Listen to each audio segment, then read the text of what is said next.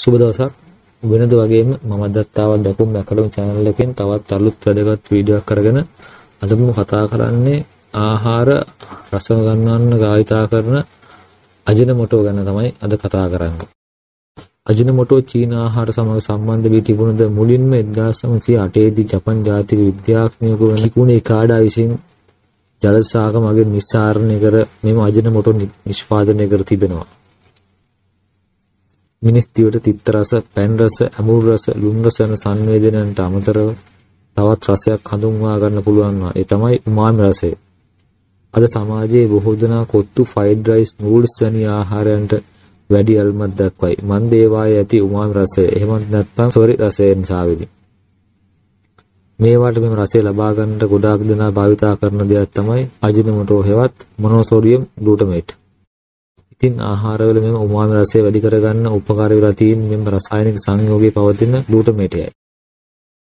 අජිනමොටෝවත් මොනෝසෝඩියම් glutamate හැදී ඇත්තේ glutamate කියන ඇමයිනෝ අම්ලයට සෝඩියම් අයනයක් එක්වීමනි. මෙහි ඇති ග්ලූටමේට් නිසා උමාමි රසය ඇති වේ.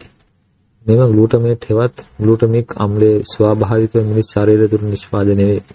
විශේෂයෙන්ම මව් කිරි වලද මෙම ග්ලූටමේට් රසායනිකය අඩංගු වන අතර ඒ බැවින් ලදරු අවදී සිටම මෙම උමාමි රසය අපි හඳුනාගෙන ඇත. ස්වාභාවිකම ග්ලූටමේට් අඩංගු ආහාර වර්ග තක්කාලි, අල වර්ග, හතු වර්ග, මාංශ, කිරි, චීස්, මිදි. නමුත් ඒවා ස්වාභාවික ආහාරවල අඩංගු වන්නේ ඉතාමත් සුළු ප්‍රමාණයකි. අජිනමොටෝ රහිතය සඳහන් කරන සමහර ආහාරවලට ඒවායේ රසය ලබා ගන්න එකතු කරන තක්කාලි සෝස් සෝයා සෝස් ආදී දේවල් වලින් ඉබේටම මොනෝසෝඩියම් ග්ලූටමේට් ලැබෙන අතර මාමයිට් වලද මෙම මොනෝසෝඩියම් ග්ලූටමේට් අඩංගු වේ. එහෙනම් අපිට මේ කිසිම ආහාරයක් නොගෙන ඉන්න වෙයිද? සැබවින්ම අජිනමොටෝ ශරීර අහිත කරයිද? සත්‍ය ලෙසට මේ ගැටලුව ඇත්තේ ගුණාත්මක බව පිළිබඳ නොව අප ගන්නා ප්‍රමාණ පිළිබඳවයි. අජිනමොටෝ හෙවත් මොනෝසෝඩියම් ග්ලූටමේට් අඩංගු වන සෝඩියම් ලවණ දෛනිකව ග්‍රෑම් 2.3ට වඩා ආහාරයට ගැනීමෙන් සෞඛ්‍ය ගැටලු ඇති කරන බව වෛද්‍යවරුන් විසින් පෙන්වා දී ඇත. අජිනමෝටෝ අධික ලෙස පරිභෝජන නිසා ඇති වී හැකි තත්ත්වයන්.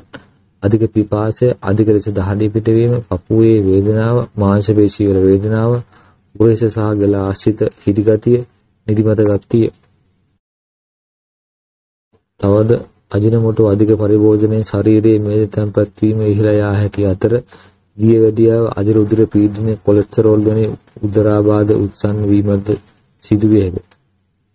සෞඛ්‍ය සංවිධාන විසින් පෙන්වා ඇත්තේ මෙම රසායනිකයේ බලපෑම ඍජුව මිනිසා රෝගී කිරීමට දායක නොවුනත් රෝගී මිනිසෙකුගේ රෝග ලක්ෂණ උත්සන්න කිරීමට හේතු වන බවයි. මොනෝසෝඩියම් ග්ලූටමේට් හෙවත් අජිනමොටෝ නොව ලෝ කිසිදු රසකාරකයක් අවශ්‍ය ප්‍රමාණයට වඩා ශරීරගත වීම සැබවින්ම නුසුදුසුය. කෙසේ නමුත් සෙනගී ආස්වාදයක් සඳහා තමන්ගේ දිව පෙනවීමට අජිනමොටෝ සහිත කොත්තු ෆ්‍රයිඩ් රයිස් නූඩ්ල්ස් වැනි ආහාර නිතරම පරිභෝජනය කිරීමට පෙර දෙවරක් හිතන්න.